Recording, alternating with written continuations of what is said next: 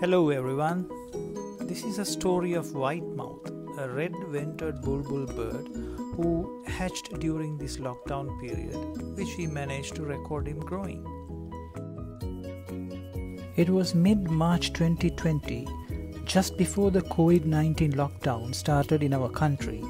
We saw a bird couple like this trying hard to make their nest in an awkward corner of our house's front roof.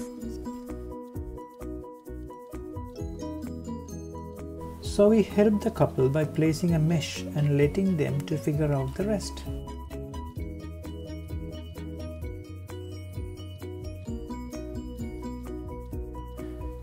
In a day or two, the birds made a nest with dried grass and straw. It did not seem the best with the soft padding in the center, but the birds continued to shape it. Very soon, we saw the birds taking turns in staying in the nest, so we realized the eggs would have been laid. In the following week, we heard tiny tweets from the nest and wanted to have a sneak peek.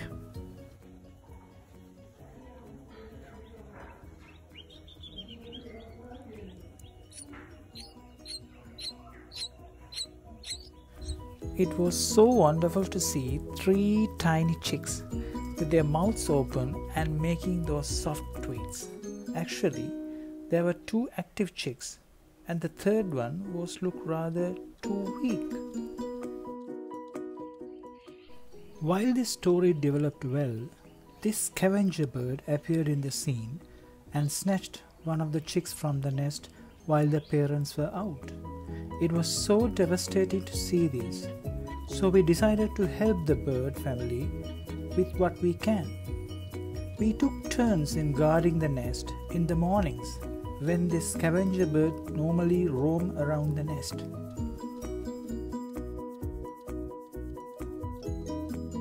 In the coming days, we continued to check on the nest and saw a fully grown chick and the other still looking weaker. In about three weeks, there was only one chick in the nest, the better one, and we really did not know what happened to the other. By this time, the parent birds were calling the chick to come out of the nest and fly with them.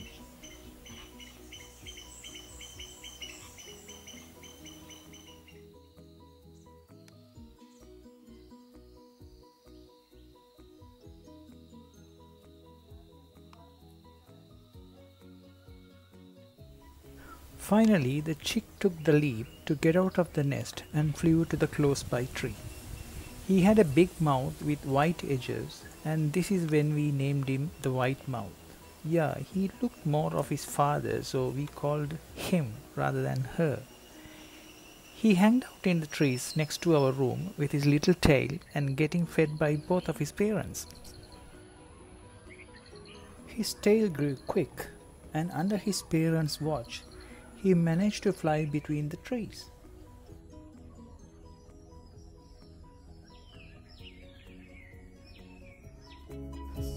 There were these two nasty cats from our neighbors who seemed interested in our white mouth's movement.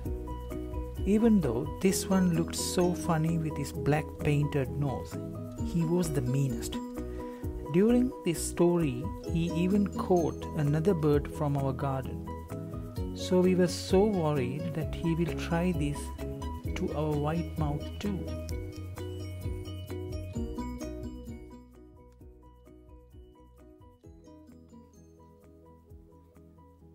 In the meantime, we saw how our white mouth was taught by his parents to take a bath.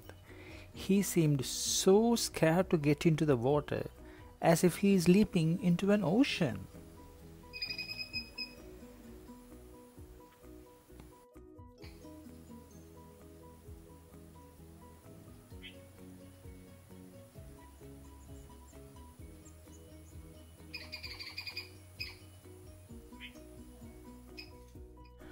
After so many attempts, he at last got his first dip in the water and had himself dried up in the sun thereafter.